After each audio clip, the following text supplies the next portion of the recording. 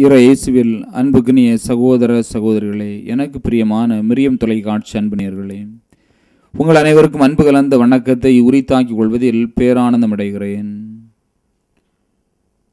சவால்களை ஏற்று வாழ்வை அழகு செய்வோம் என்ற சிந்தனையில் சிந்திக்க உங்களை நான் இன்று அன்புடன் அழைக்கிறேன்.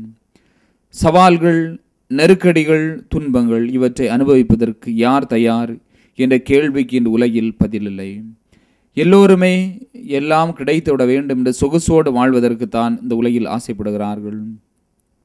சவால்களை நெருக்கடிகளை துன்பங்களை ஏற்றுக்கொள்வதற்கு தயாரான மன் உல மனிதர்கள் இந்த உலகில் இல்லையோ என்ற அச்சம்தான் பல நேரங்களில் ஏற்படுகிறது. வாழ்வின் வலிகளையும் அவமானங்களையும் புறக்கணிப்புகளையும் ஏற்றுக்கொள்ள முடியாது. வாழ்வை இழக்கின்ற மனிதர்கள் ஏராளம். சமீபத்தில் ஏராளமான பெரிய பெரிய தொழிலதிபர்கள் எல்லாம் மரணத்தை தழுவுகிறார்கள். காரணம் என்னவென்று சிந்தித்து பார்த்தால் அளவுக்கு அதிகமான சொகுசோடு வாஸ் வாழ வேண்டும் என்று ஆசை ஒரு காரணமாக இருக்கிறது. இன்னொரு புறத்தில் வாழ்வின் வலிகளை அவர்கள் ஏற்றுக்கொள்வதற்கு பழக்கப்படுத்தப்படவில்லை என்றுதான் எண்ண தோன்றுகிறது. அமெரிக்க நாட்டினுடைய முன்னாள் அதிபர் தான் ட்ரூமேன். இவர் இராணுவத்தில் பணியாற்றி தொடர்ந்து பல்வேறு கட்ட முயற்சிகளால் அதிபராக மாறியவர். ஒரு முறை அவருடைய வாழ்வில் நடந்த ஒரு நிகழ்வு. அமெரிக்க இராணுவம் எல்லை பகுதியில் நின்று எதிரிகளோடு போரிட்டு கொண்டிருக்கிறது. அந்த இராணுவத்தினுடைய தலைமை அதிகாரியாக ட்ரூமன் இருக்கிறார். ஒரு கட்டத்தில் எதிரிகளுடைய எண்ணிக்கை அதிகமாக இருக்கிறது. இவரோடு உடனிருந்த படை வீரர்கள்லாம் அஞ்சி பதுங்குகிறார்கள். தங்களை மறைத்து கொள்கிறார்கள் பதுங்கு குழிகளுக்குள் சூழ்ந்து கொள்கிறார்கள். எதிரி படை வேகமாக முன்வருகிறது. ட்ரூமன் முன்னணியில் நிற்கிறார். அவருக்குள் அச்சம் இருந்தாலும் சொல்கிறார். எல்லோரும் வாருங்கள். நாம் அனைவரும் இணைந்து சென்றால் வெற்றி கொள்ள முடியும். எதிரிகளை வெற்றி பெற முடியும் என்று சொல்கிறார். உடனடியாக அனைவரும் இணைந்து சென்று எதிரிகளை வெற்றி கொள்கிறார்கள். அன்று இரவு தூங்குகின்ற பொழுது அவருடைய உள்ளத்தில் எழுகின்ற சிந்தனை அப்படியே எழுதுகிறார். நாம் வாழ்வின் சவால்களை தாங்குவதற்கு முன் வந்தோம் என்றால் நிச்சயமாக வெற்றி பெற முடியும் என்று அவர் பதிவு செய்கின்றார். அதை ஒரு ஆவணமாக ஒரு புத்தகமாக வெளியிட்டிருக்கிறார். சவால்களை அனுபவிக்க தெரிந்தவன் வெற்றியாளன் என்று அவர் எழுதியிருக்கின்றார். ஆமினியவர்களே சவால்களை தாங்குகின்றவர்கள் வெற்றியாளராக மாறுகிறார்கள். பிரான்ஸ் நாட்டினுடைய கலை இலக்கிய உலகில் முடிசூடா மன்னன் தான் லென்ராஸ் லென்ராஸ் என்ற இவர் தன்னுடைய இல்லத்தில் அடைத்து வைக்கப்படுகிறார். பதினைந்து வயதில் பெற்றோருக்கு தெரியாமல் வீட்டு காவலில் தப்பி ஓடுகிறார். ஓடிக்கொண்டே இருக்கிறார். முதல் உலகப் போரில் பணியாற்ற வேண்டிய ஒரு நிர்பந்தம் ஏற்படுகிறது.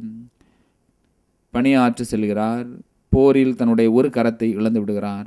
ஆனாலும் சாகசம் செய்ய வேண்டும் நல்லது செய்ய வேண்டும் என்ற உத்வேகத்தோடு ஓடிக்கொண்டே இருக்கிறார்.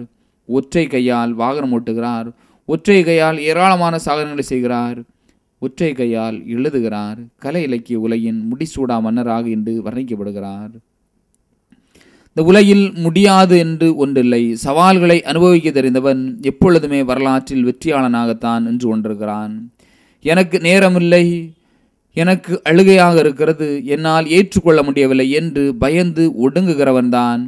வாழ்வில் முன்னேற்றங்களை கண்டுகொள்ள முடியாதவனாக சோர்ந்து போய்விடுகிறான் அனைத்தையும் ஏற்றெடுத்து செல்கின்றவன் தொடர்ந்து வரலாற்றினுடைய நாயகனாகத்தான் இந்த உலகத்தில் மாற்றப்படுகிறான். எனவே நாம் சிந்தித்து பார்ப்போம் இந்த நாளில்.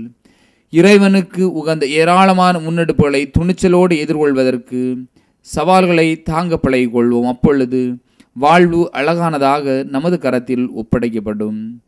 ஜெபிப்போம். அன்பே உருவான இறைவா நீர் படைத்த இந்த உலகத்தை நாங்கள் அன்பு செய்து பார்க்கவும்.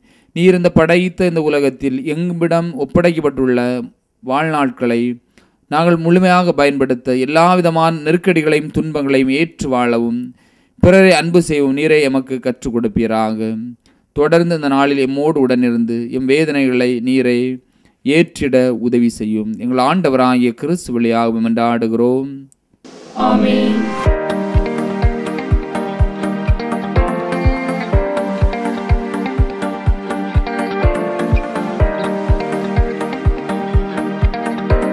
அன்புக்கினிய மிரியம் டிவி நேயர்களே மிரியம் தொலைக்காட்சி இந்த சமூகத்தில் செய்கின்ற பணிகள் ஏராளம். சாதாரண சாமானிய மக்களை அடையாளப்படுத்த வேண்டும் என்பதில் இந்த தொலைக்காட்சி முயற்சி எடுத்துக் கொண்டிருக்கிறது. குக்கிராமங்களை இது தேடி செல்கிறது. இது யாரும் கண்டிராத பகுதிகளை சமூகத்திற்கு அடையாளப்படுத்துகிறது. இந்த தொலைக்காட்சியில் நானும் இணைந்து பணியாற்றுவதில் மகிழ்ச்சி அடைகிறேன். ஒவ்வொரு நாளும் ஒவ்வொரு சிந்தனையோடு உங்களை நான் தொடர்பு கொள்வதற்கு தயாராக இருக்கிறேன். நீங்களும் கண்டு மகிழுங்கள். உங்களது நேரிய சிந்தனைகளை பகிர்ந்து கொள்ளுங்கள். தொலைக்காட்சி வளரவும் நான் வளர்ச்சி பெறவும் துணையாக இருக்கும். மீண்டும் மீண்டும் சந்திப்போம் உரையாடுவோம். மிரியம் டிவியை காண தவறாதீர்கள். நன்றி.